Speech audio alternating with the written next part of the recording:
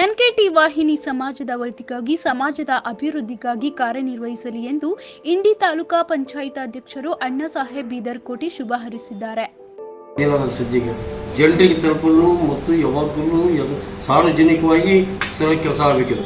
ಇದು ಯಾರ ಪರವಾಗಿ ಕೆಲಸ ಆಗಬಾರ್ದು ನಿಮ್ಮ ಕೆಲಸಗಳು ವ್ಯಕ್ತಿ ಪರವಾಗಿ ಆಗಬಾರ್ದು. ಎಲ್ಲ ಸಾರ್ವಜನಿಕವಾಗಿ, ಸಾರ್ವಜನಿಕ ಯಾವುದೇ ಇರ್ಲಿಕ್ಕೆ ಅವ್ರು ತಲುಪಂಗೆ ನಿಮ್ಮ ಕೆಲಸ ಆಗಬೇಕು. ಒಳ್ಳೆಯ ಕೆಲಸ ಮಾಡಿರಿ ಅದು ಭವಿಷ್ಯದ boleh tersinggung, boleh ini. Hmm?